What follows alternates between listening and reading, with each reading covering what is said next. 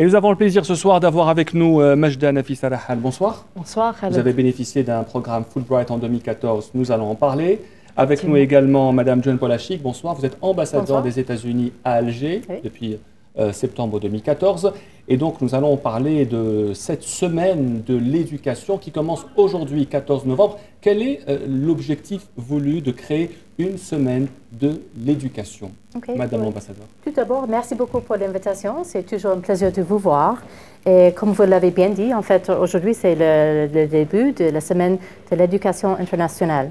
Et c'est un programme parrainé par le gouvernement américain, le département d'État et le département d'éducation et le but, c'est d'encourager les échanges éducatifs. Donc, ça veut dire euh, nous voulons que les, étudiants euh, américains vont à l'étranger et que les étudiants étrangers vont pour faire les études aux États-Unis, bien sûr, y compris les Algériennes.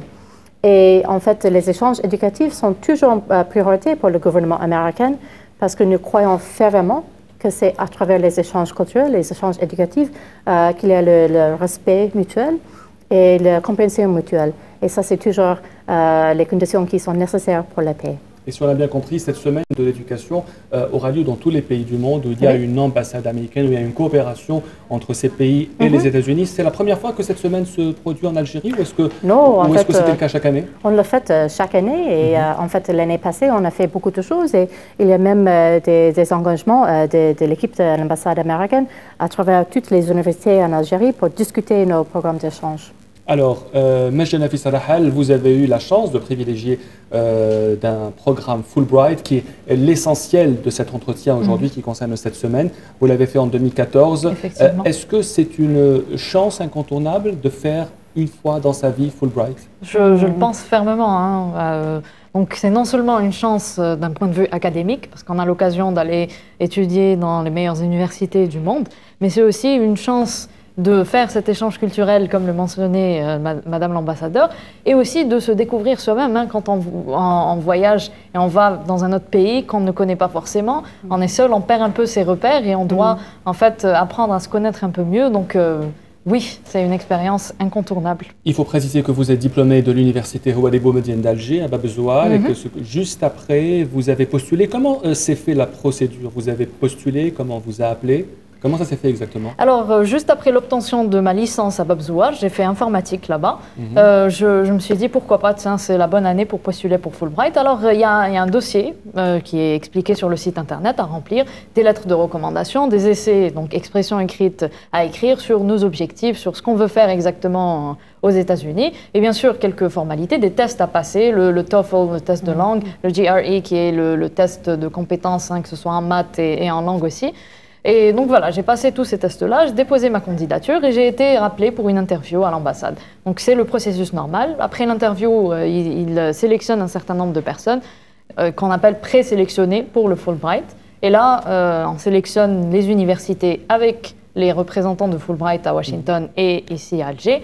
Et on attend quelques mois pour avoir la réponse définitive, savoir si on a eu la chance d'être sélectionné pour partir aux États-Unis. Madame l'ambassadeur, est-ce que le programme, la bourse Fulbright, entre aussi dans le cadre de l'amélioration des relations avec euh, tous les pays du monde? Est-ce que Fulbright, est-ce que l'éducation, c'est plus important, plus fort que la diplomatie aujourd'hui? Hmm, Ça, c'est une bonne question.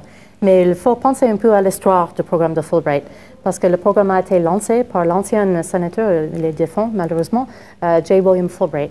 C'était juste avant la fin de, la Deuxième Guerre mondiale. Et euh, le sénateur Fulbright, il, a cru fermement qu'il faut éviter des autres guerres comme ça. Et il a décidé qu'il faut avoir des échanges pour, pour promettre la, connaissance l'un à l'autre.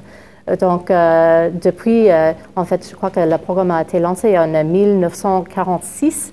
Donc, ça fait combien d'années? 70 maintenant. Absolument. Oui, euh, donc euh, pour nous, c'est une priorité. Et avec le temps, on a créé d'autres programmes. Le Fulbright, il reste toujours le top pour nous. En, fait, je voudrais dire qu'en fait, il y a deux catégories de programmes de Fulbright. Il y a le programme de Visiting um, Students, euh, dans lequel Majda a bien participé. Il y a un autre pour les scolaires donc le Visiting Scholars Program. Et ça, c'est ciblé vers les gens qui, ont, qui sont dans le post-bac, donc avec les doctorats, et c'est pour faire les recherches et ou enseigner aux États-Unis au même milieu. Et en fait, malheureusement, ce programme ici en Algérie, c'est pas bien euh, demander et j'espère que cette année, il va y avoir beaucoup de monde qui, qui, vont faire la demande et en fait, la date limite approche bientôt. C'est le 15 décembre. On va le rappeler bien sûr après en consultant les sites internet de l'ambassade. Madame l'ambassadeur, est-ce qu'il y a beaucoup d'Algériens qui sont intéressés, qui postulent pour ce genre de programme, notamment le Fulbright. Euh, il y a une bonne demande et comme je vous ai dit, en fait, malheureusement, euh, pour le programme de Fulbright Scholars, ce n'est pas assez inscrit jusqu'à maintenant, mais euh, depuis les dernières 30 ans, il y avait plus de 4000 Algériens qui ont fait les programmes, qui ont fait les programmes d'échange avec les États-Unis. Et je, je, crois que ça c'est important. Majda, comment se sont déroulées vos études là-bas? Je pense que c'était à l'université de Pittsburgh, ça a duré un an et demi. Décrivez-nous un peu cette expérience pour donner une idée à tous ceux qui veulent suivre mhm. votre chemin. Alors bon, c'était à Carnegie Mellon University, hein, non mhm. pas l'université de Pittsburgh. Ah, donc c'est vous euh, qui vous êtes trompé tout à l'heure. Non, non, c'était à Pittsburgh, ah, mais c'était voilà, c'était CMU, Carnegie Mellon University. Donc j'ai poursuivi euh, des, des, études en analyse de données, donc c'était un domaine de, de l'informatique. Alors euh, c'était non, c'était déjà un challenge en soi parce que c'était très intense comme comme étude. On avait des, des mini semestres, c'était très différent de, de ce que mhm. de ce qui se faisait en Algérie. Donc mini semestre, on avait les examens et tout très rapidement et très très de manière très régulière. C'était aussi intense en termes de workload, donc de travail. Mm. La, charge, la, charge, de travail euh, était assez exceptionnelle, mais on pouvait euh, s'organiser parce qu'on avait le programme dès le premier jour. Quand le prof arrivait, on avait déjà le programme de tout le semestre. On savait euh, ce qu'on allait avoir exactement, quand, les dates des examens, etc. Donc, euh, comme on arrive à s'organiser, on arrive aussi à planifier toutes les activités culturelles, à découvrir hum, la, ville où on est. personnellement, j'ai adoré l'État de, Pennsylvanie, mhm. qui contient des paysages absolument incroyables, hein, des forêts, mhm. des, mhm. etc.